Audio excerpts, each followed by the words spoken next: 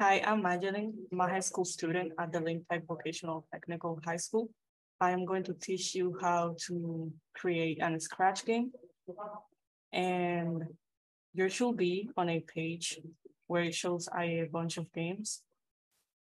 Also, there's a button right here that says create. You should click on it.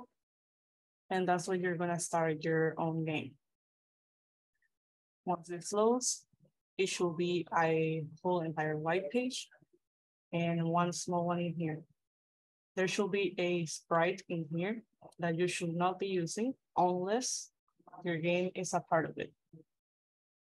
To delete it, there's a button right here that it shows a trash can on blue.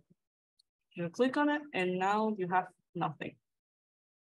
To add one, you should click on a blue icon in here that says choose on sprite.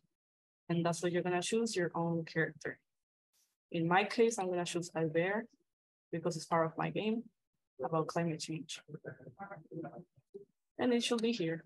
You can move it around whatever you want. Just like that. It looks quite boring, so I'm gonna add a background. And it's right here next to the sprite box. I'm gonna choose one based on my game.